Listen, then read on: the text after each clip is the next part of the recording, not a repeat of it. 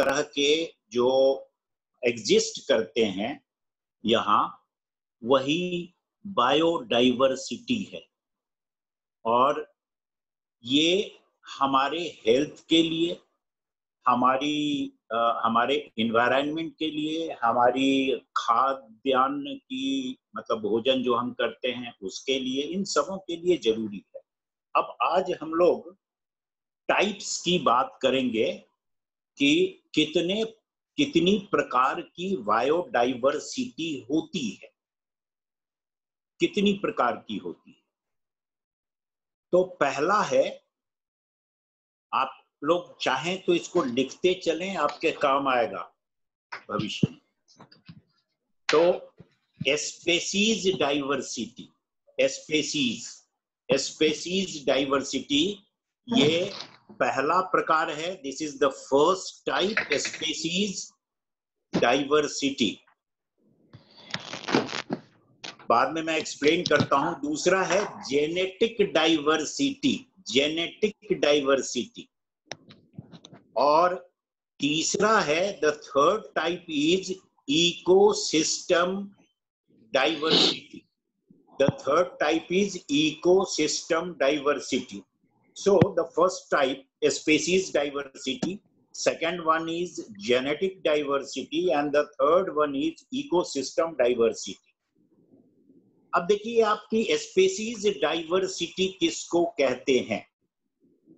मतलब दो स्पेसीज में डाइवर्सिटी अगर हो, विविधता अगर हो, और ये दोनों के करीब हों, दोनों के करीब हों तो ये स्पेसीज डाइवर्सिटी जैसे अब देखिए कई तरह की स्पेसीज है। सबसे पहले जो आ, आ, उसको क्लासिफाई किया गया है स्पेसीज को इनको क्लासिफाई किया गया है ज़मीन पर रेंगने वाले पैरों पर मतलब दूध पीने वाले माता का दूध पीने वाले जो स्तनपाई जानवर हैं तो जिनको उनको मैमल्स कहा गया जो ज़मीन पर रेंग किसी की आवाज़ आ रही है जरा देख लेना किसका है। तो आ, उसको कहते हैं रेप्टाइल्स यानी जो सरीसृप हिंदी में कहते हैं अंग्रेज़ी में उसको कहते हैं रेप्टाइल्स जो रेंगते हैं सांप वगैरह हैं उसमें। इसी तरह से आ, जो दूध पिलाने वाले हैं वो तो इस तरह से बहुत सारी मतलब मैमल्स मैमल्स और आपको ये जान के आश्चर्य हो सकता है या हो सकता है शायद आप जानते भी हो कि जिन चमगादड़ों को कोरोना वायरस का माना जा रहा है कैरियर और माना जा रहा है कि उससे फैला हो सकता है तो वो भी मैमल है। वो भी चमगादड़ भी अपने बच्चे को दूध पिलाता है। तो ये मैमल्स की कैटेगरी में तो इसी तरह से अलग अलग उसके बहुत डिटेल में हम लोग अभी नहीं जा रहे हैं, क्योंकि हमारा जो अभी टॉपिक है, पहले हम उसकी बात कर लें।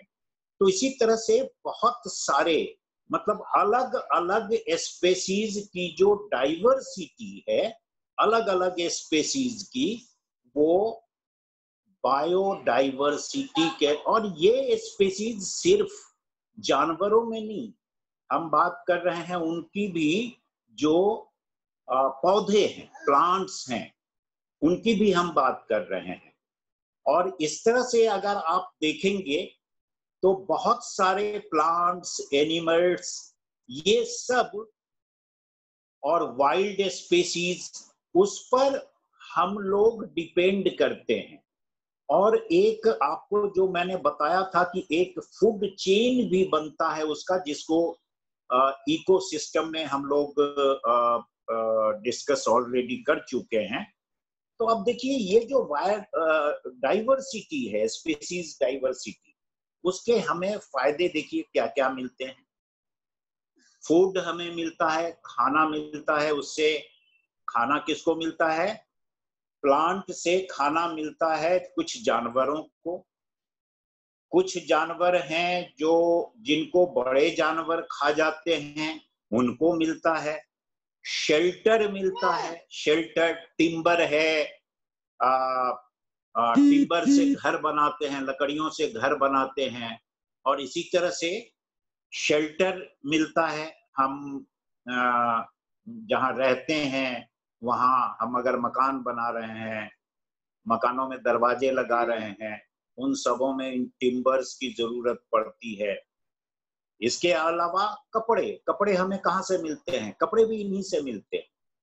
कपड़े भी इन्हीं स्पेसीज की डाइवर्सिटी से मिलते हैं। पहले तो कपड़े आ, कुछ उनके भी बनते थे जैसे खरगोश है आ, और इसी तरह के जो ऊन वाले जानवर हैं या फिर जिनके बड़े बड़े फर होते हैं, वो जानवर हैं, उनको मार के और उनकी खाल से भी कपड़े, लेकिन अब वो बैन पूरी दुनिया में बैन हो चुका है।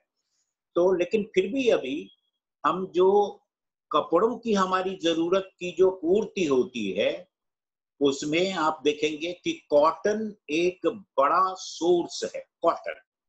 और कॉटन से हमारे कपड़ों की आपूर्ति हो, कॉटन से कपड़े बनते हैं। तो इस तरह से इतना ही नहीं। ये तो है कि जो हमारी बेसिक नीड्स हैं, उनको फार्मास्यूटिकल्स के जो मतलब जो दवाइयाँ बन रही हैं, दवाइयाँ, वो दवाइयाँ भी ज़्यादातर इन्हीं प्लांट से बन रही हैं प्लांट से बन रही हैं। कुछ दवाइयाँ जो, जैसे इंसुलिन है जो डायबिटीज़ के पेशेंट्स को लगाया जाता है इंसुलिन इंसुलिन जो बनता है, वो इंसुलिन भी आप देखेंगे कि जानवर से निकाला जाता है उसे और फिर उसे इंजेक्ट किया जाता है और फिर उसे इंजेक्ट किया जाता है डायबिटीज़ के पेशेंट्स को। तो वो मिलता है। अब 40 परसेंट फार्मास्यूटिकल्स जो यूएस में यूज़ होते हैं यूएस का इसलिए उदाहरण है क्योंकि वहाँ इस पर काफ़ी रिसर्च हुआ है, इसलिए यूएस का उदाहरण दिया जा रहा है यहाँ। तो 40 परसेंट फार्मास्यूटिकल्स जो हैं, वो सिंथेसाइज्ड हैं, लेकिन जो प्लांट से निकलते हैं और उनसे वो दवाइयाँ बनाई जाती हैं। मतलब जो बेसिक रॉ मटेरियल है, वो उन्हीं से निकाला जाता है और उनसे फिर दवाइयाँ बनाई जाती है। मतलब नेचुरल कंपाउंड प्लांट से निकाला जाता है और फिर उसे दवाइयों में इस्तेमाल किया जाता है। तो इस तरह से दवाई मतलब प्लांट्स हैं एनिमल्स हैं माइक्रो ऑर्गेनिज्म है, ये इनमें से कई हैं जो दवाइयों के, दवाइयाँ बनाने के काम आते हैं। तो ये हमारा है। फॉरेस्ट हमारे लिए ज़रूरी है, फॉरेस्ट। फॉरेस्ट, अगर फॉरेस्ट ना हो तो हमें ऑक्सीजन नहीं मिल पाएगा। ऑक्सीजन नहीं मिल पाएगा। अगर फॉरेस्ट ना हो तो मिट्टी को बांधने के लिए कोई दूसरा ज़रिया नहीं रह पा जाएगा। आप देखेंगे कि पहाड़ों पर थोड़ी भी बारिश होगी तो लैंडस्लाइड होगा। अभी तो जब बहुत भारी बारिश होती है, तब लैंडस्लाइड होता है। उस समय थोड़ी सी बारिश से लैंडस्लाइड होगा। तो इस तरह से वैज्ञानिकों ने, आप लिख लें ये 1.75 मिलियन 1.75 मिलियंस मतलब एक दशमलव सात पाँच मिलियन स्पेसीज को साइंटिस्ट ने डिस्कवर किया है, उसका नामकरण किया है, नामकरण किया लेकिन 20 परसेंट है ये टोटल स्पेसीज का। पृथ्वी पर जितनी स्पेसीज मौजूद हैं, उसका ये सिर्फ़ 20 परसेंट है 20 परसेंट। आप समझिए कि करीब 80 परसेंट है जिसको अभी तक वैज्ञानिक डिस्कवर तक नहीं कर पाए। वैज्ञानिक अभी तक डिस्कवर नहीं कर पाए हैं 80 परसेंट को, सिर्फ़ 20 परसेंट को डिस्कवर कर पाए हैं और उनका नामकरण किया गया है। उनको नाम दिया गया है कि इस स्पेसी का ये नाम है।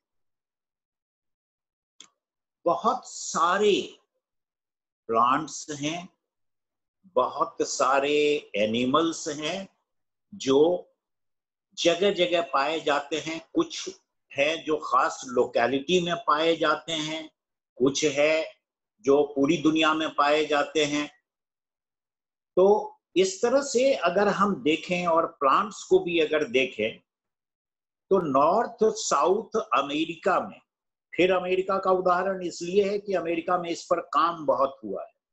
लेकिन दूसरी जगह भी काम हुआ है और हमारे यहाँ भी काम हुआ है। मतलब इंडिया में भी आ, बाद में काफ़ी काम हुआ है लेकिन शुरुआती दौर में इंडिया में उतना काम नहीं हुआ था। तो नॉर्थ साउथ अमेरिका में जो फ्लावरिंग प्लांट्स हैं जिनमें फूल आते हैं उनकी संख्या पचासी हज़ार है। पचासी हज़ार जिनको नाम दिया गया है और जिनको डिस्कवर किया गया है और नाम दिया गया है। Eighty five thousand flowering plants Asia में एशिया में करीब पचास हज़ार फिफ्टी थाउज़ेंड फ्लावरिंग प्लांट्स हैं। एशिया में। अफ्रीका में लगभग पैंतीस हज़ार फ्लावरिंग प्लांट्स हैं। Thirty five thousand flowering plants in Africa तो आप देखिए कि जगह जगह और ये सब जो फ्लावरिंग प्लांट्स हैं, वो अलग अलग स्पेसीज हैं। एक स्पेसी नहीं है ये अलग अलग स्पेसीज हैं। अलग अलग तरह के फूल आते हैं उसमें, अलग तरह के प्लांट हैं। और आपने शायद बहुत सारे ऐसे प्लांट्स देखे भी होंगे जिनको आ, अब मैं अगर ये कह रहा हूँ eighty five thousand fifty thousand thirty five thousand तो ये वो प्लांट हैं जो अलग स्पीसीज के हैं। ये वो प्लांट नहीं है जो एक जेनेटिक ग्रुप के हैं। वो प्लांट नहीं उनकी बात नहीं की जा रही है। जैसे गुलाब है गुलाब में लाल गुलाब है गुलाब में पीला गुलाब है, गुलाब में सफ़ेद गुलाब है, गुलाब में काला गुलाब है। मतलब बहुत सारी वेराइटीज होती है। अब इतनी सारी वेराइटीज के साथ अगर हम इसको रखते हैं तो इसको एक ग्रुप में रखते हैं, एक ग्रुप में रखते हैं। जो बात की जा रही है तो इस तरह के कई ग्रुप्स हैं और ये अलग अलग स्पेसीज हैं। तो देखिए बायोडाइवर्सिटी की जब हम बात करते हैं और उसके टाइप्स की तो ये पहला टाइप है जिसकी अभी हम लोगों ने बात की और वो है स्पेसीज ओके दूसरा है दूसरा है जेनेटिक क्यों? यही है ना? यही है ना?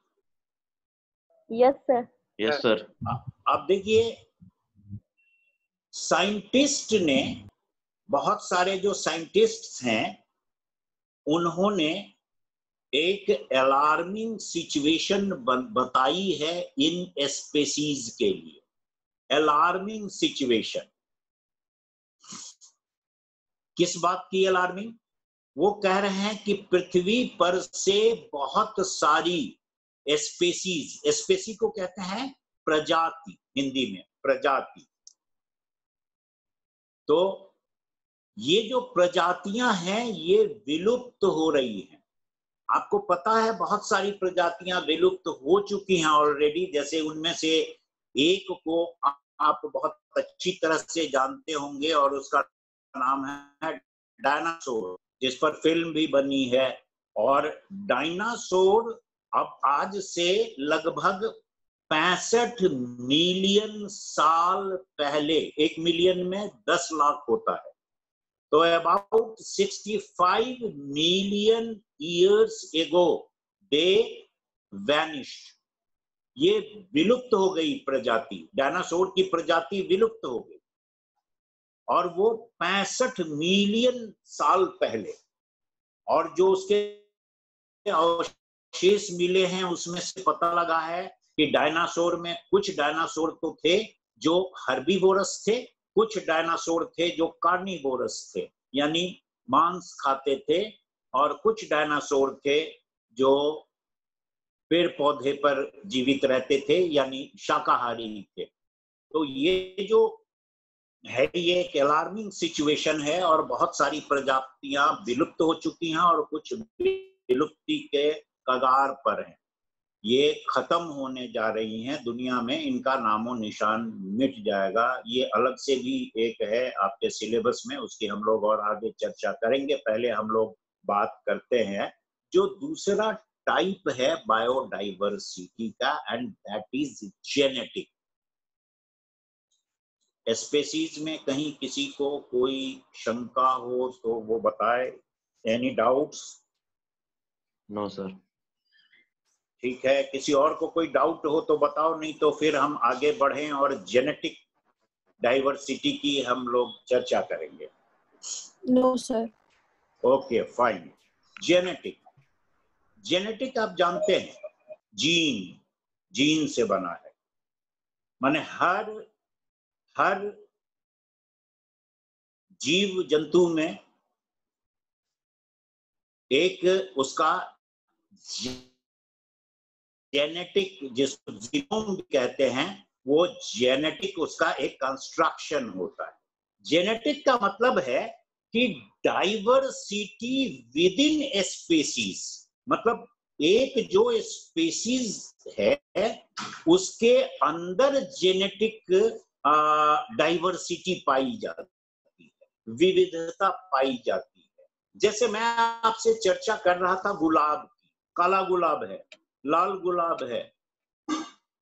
गुलाबी रंग का गुलाब है पिंक गुलाब है वाइट गुलाब है।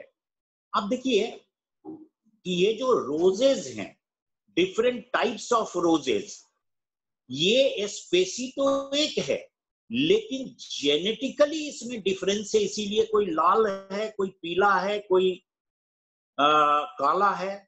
इसीलिए तो ये जो जेनेटिक डाइवर्सिटी है, ये genetic diversity within the species होता है विद इन स्पेसीज एक दूसरे से सारे स्पेसीज जेनेटिक आधार पर जुड़े हुए जेनेटिक आधार पर जुड़े हुए। और जो बहुत क्लोज स्पेसीज हैं एक दूसरे के मतलब जेनेटिक इंफॉर्मेशन जिनका बहुत क्लोज है एक दूसरे से, वो जेनेटिकली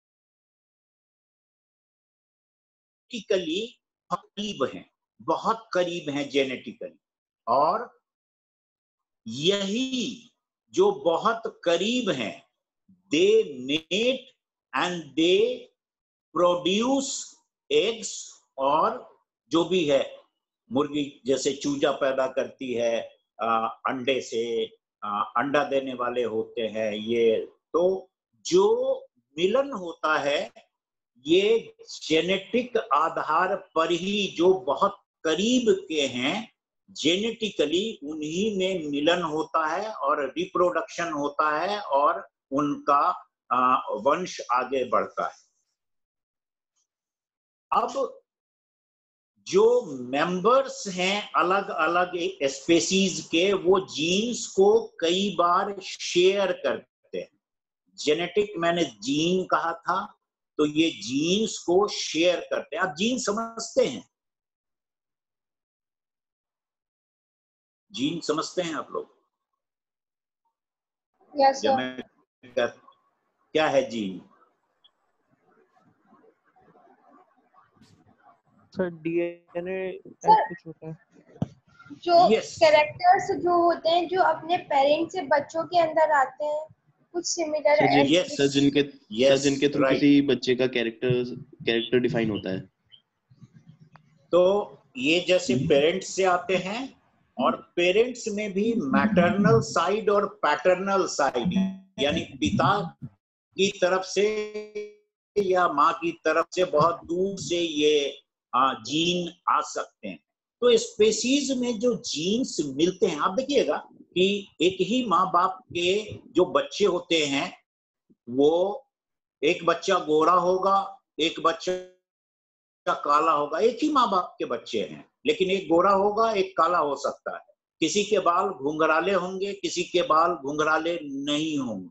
तो कर्ली हेयर्स और straight so why this is because of the genes the child is inheriting either from maternal side or from paternal side and it can go to generations it's not one two three four generation generations बहुत ऊपर से आ सकता है दोनों side में से तो ये जो है ये आ, किस तरह का वो होगा ये उस पर जीन पर डिपेंड करता है और ये बायोकेमिकल इंफॉर्मेशन भी देता है जीन जो है वो बायोकेमिकल इंफॉर्मेशन भी देता है। बायोकेमिकल इंफॉर्मेशन मतलब biochemically one species is different from other species so जो भी अलग है वो बायोकेमिकल इंफॉर्मेशन के कारण भी है और उसमें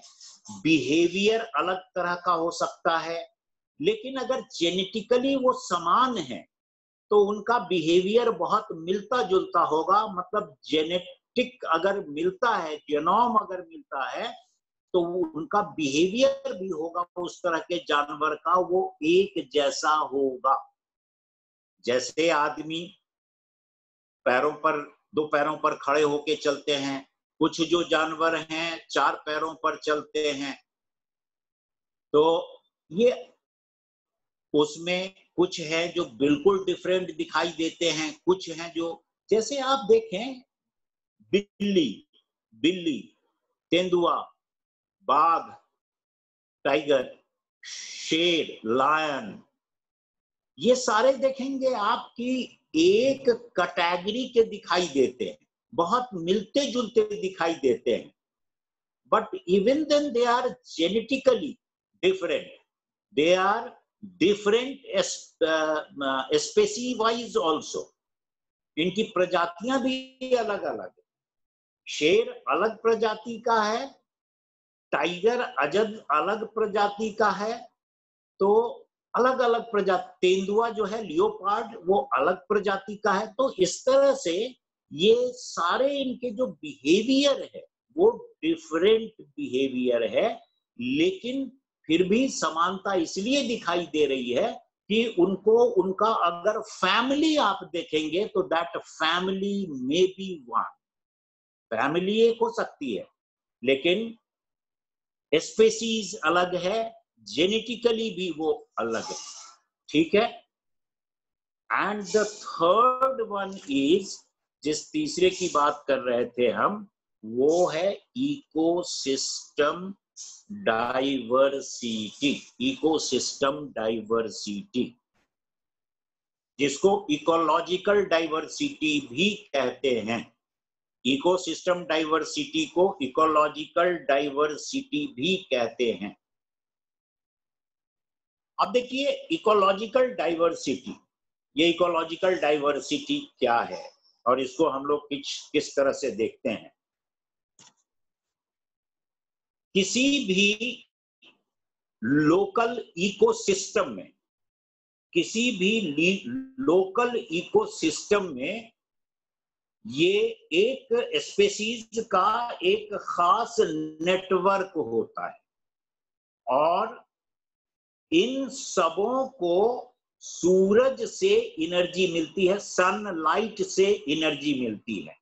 So from where they get energy from the sunlight and plants highly they are dependent on sunlight if sunlight is not there they cannot survive they cannot survive तो सनलाइट से उनको energy मिलती है घास को पेड़ को पौधे को अब वो फ़ूड चेन जो बनता है उससे जिसको हम लोग पिछले इसमें इकोसिस्टम में हम लोग डिस्कस ऑलरेडी कर चुके हैं तो उससे उनको मिलता है, पूरा फ़ूड चेन बनता है, उसको एनिमल खाते हैं, घास को, पेड़ पत्तियों को, पौधों को, उनको जो मांसाहारी जीव हैं, यानी carnivorous animals they eat those animals smaller animals those who are dependent on plants और इसी तरह से अलग अलग इकोसिस्टम में, जैसे डेजर्ट इकोसिस्टम है, जैसे पानी के अंदर का एक इकोसिस्टम है, धरती पर इकोसिस्टम है, पहाड़ पर है, उसका फ़ूड चेन जो है, वो इसी तरह से बनता है, लेकिन अलग है। अब पानी में बनेगा तो फ़ूड चेन अलग बनेगा, क्योंकि वहाँ अलग अलग तरह के जीव जंतु अलग अलग तरह के some fishes they and some other animals which live in the water, they are dependent on algae, fungus, तो ये सब भी खाते हैं और उनको